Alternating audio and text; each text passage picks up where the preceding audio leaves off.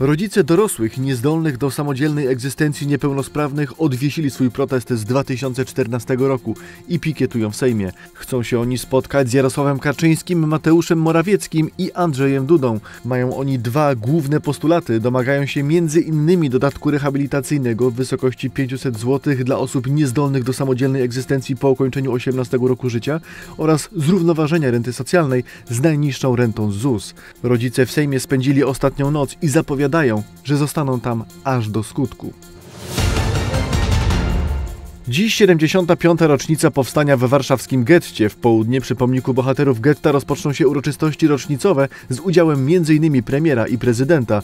Od rana prawie 2000 wolontariuszy rozdaje mieszkańcom stolicy papierowe żonkile, które są symbolem powstania. 19 kwietnia 1943 roku w odpowiedzi na rozpoczęcie przez Niemców akcji ostatecznej likwidacji getta wybuchło w nim powstanie. Był to pierwszy akt zbrojnego oporu w mieście w okupowanej przez niemiecką III Rzeszę Europie.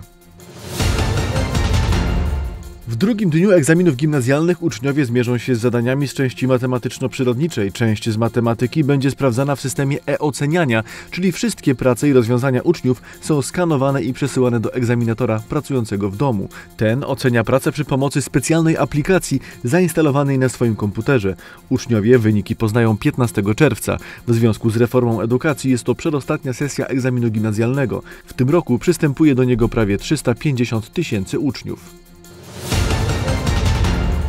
Donald Trump zapowiedział, że może się wycofać z planowanych rozmów z Kim Jong-unem, jeśli uzna, że nie będą one gwarantowały sukcesu. Jednocześnie podczas konferencji prasowej z premierem Japonii Shinzo Abe prezydent Trump wyraził nadzieję, że szczyt Stany Zjednoczone Korea Północna zakończy się sukcesem. Donald Trump ostrzegł jednocześnie, że może nawet przerwać spotkanie z Kim Jong-unem w czasie jego trwania. Miałoby do tego dojść, gdyby spotkanie okazało się mało owocne. Prezydent Trump wskazywał wcześniej, że rozważanych jest pięć możliwych możliwych lokalizacji szczytu z Kim Jong-unem.